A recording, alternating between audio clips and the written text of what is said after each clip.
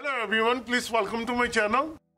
As you've seen it on my previous video, I changed the alternator on my Range Rover.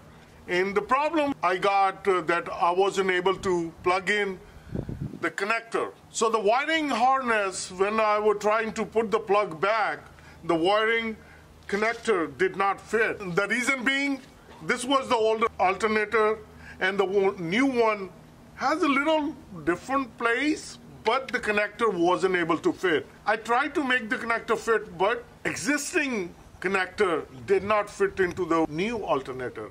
I was in a situation, how should I do it? This is the original plug which I just cut it off. I tried to break it on the sides to see if that can fit and then I will solve the problem. But it did not work, so I ordered a new plug so I let my Range Rover stay on the jacks for one day and I did the expedite shipping and uh, within one day, the next following day I got it and today I replaced it. And as you've seen my previous uh, video that alternate working all fine.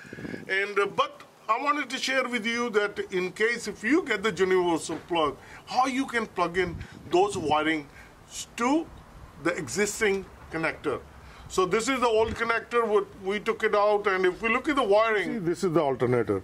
And this is the old existing plug which fits right here, just like this. So this won't fit, so I got the universal plug. As for the wiring, if you see, this one is brown green, the first one.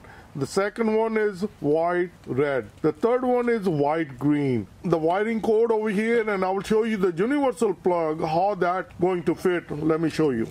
So if you see, this is the universal plug, I put it into the alternator. And the universal plug has the wiring green, white, and yellow. So I put the connectors and I use the crimping tool and I crimp it and they are sealed. And the only thing now I'm going to do, I'm going to put the electrical tape to just cover it. So the green goes to the existing white green. The yellow wire goes to the brown and the white one goes to white red. So this is the universal connector. So as you can see, this is how I'm able to put it the connector. In case if you are using this universal connector and this will help you out. So if you like this video, like always, like, share and subscribe my channel. Thank you.